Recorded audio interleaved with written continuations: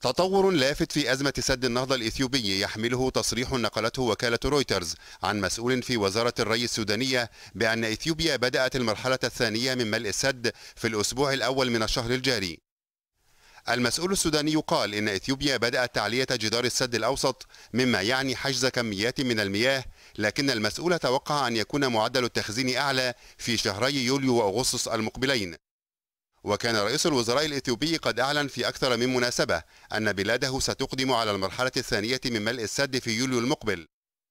يأتي هذا بينما أعلنت واشنطن أن الرئيس الأمريكي جو بايدن أقر ببواعث قلق مصر بشأن مياه نهر النيل في اتصال هاتفي أجراه مع الرئيس المصري عبد الفتاح السيسي مؤكدا اهتمام الولايات المتحدة بتحقيق حل دبلوماسي للأزمة.